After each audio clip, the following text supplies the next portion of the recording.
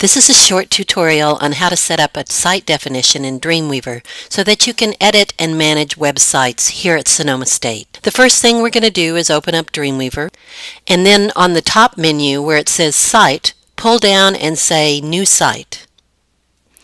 This is our site definition window and we are on the advanced side rather than on the basic side. The first thing you're going to come to is the site name. The site name is just a handy label for the website you're working on. It doesn't have to match anything on the server. So we're going to put, in this case, Sociology. The next spot down is the local root folder. The local root folder is the folder on your computer where you will keep all files related to your website and where Dreamweaver will download files and upload files. I'm going to create a folder on my desktop by pressing the blue folder icon. You can put yours wherever you want on your computer, but I'm going to put mine on the desktop. And I'm going to call the new folder Sociology Website. Now the default images folder should usually be in the same folder with your other website documents. So I'm going to put a new folder in and say images where all of my images will be kept. Now we come to links relative to. The default is document and you will fill in your website's address here at the HTTP address.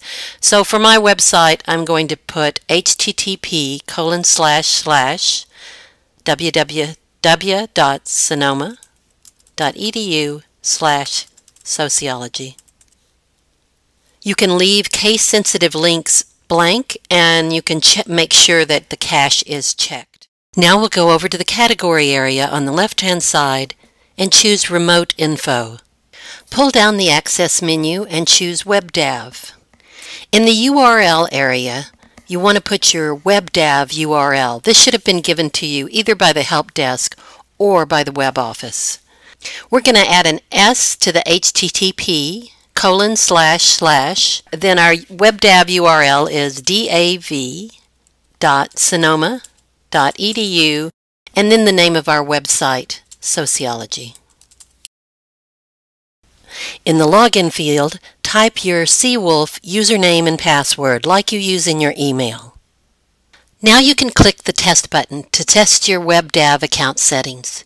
If the login fails, verify your account information and correct the settings as necessary.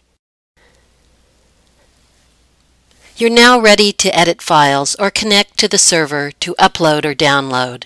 Congratulations!